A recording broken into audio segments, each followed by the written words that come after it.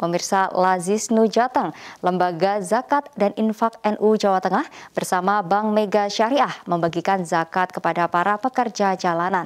Kegiatan berbagi zakat ini dilakukan untuk membantu meringankan beban warga sekitar menjelang Lebaran.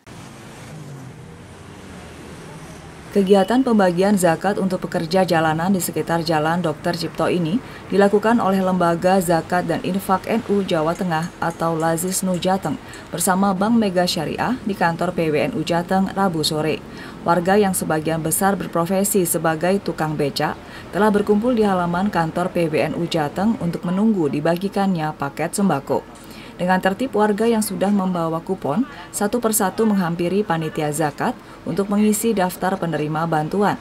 Setidaknya ada 20 hingga 30 paket sembako yang dibagikan langsung ke warga. Ketua Lasis Nujateng Haji Muhammad Mahsun menjelaskan, kegiatan ini merupakan salah satu kegiatan sosial yang dilakukan secara rutin tiap tahun bersama Bank Mega Syariah.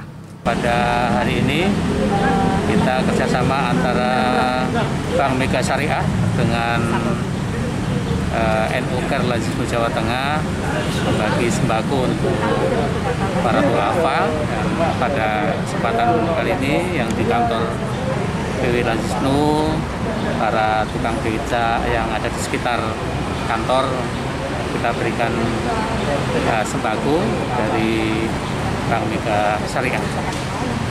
Ini kerjasama yang tiap tahun kita lakukan antara Lazisnu dengan Bank Mega Syariah.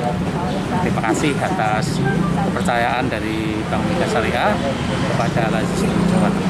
Pada tahun ini, PT Bank Mega Syariah menyalurkan zakat korporasi tahun 2022 sebesar 17,6 miliar rupiah dengan menggandeng beberapa lembaga ambil zakat.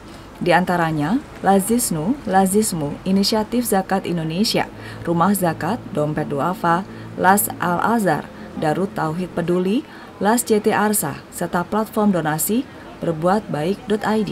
Nah, kita perwakilan dari cabang Semarang khususnya untuk membagikan zakat dan ini acara rutin tiap tahunnya dan selalu kita mengharapkan tahun ini sih lebih kenaikannya 300% dari tahun sebelumnya karena kita tumbuhnya juga lumayan nah kita harapkan di tahun-tahun berikutnya kita akan tumbuh sesuai dengan uh, pertumbuhan Bank Mega Syariah.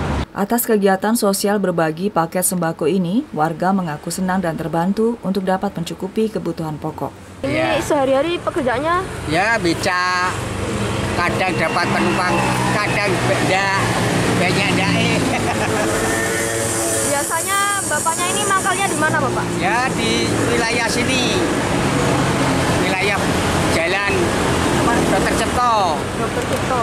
Ini ya. perasaannya mendapatkan zakat gimana, Bapak? Ya, senang. Ya, untuk kebutuhan rumah tangga. Melsa Fiori melaporkan.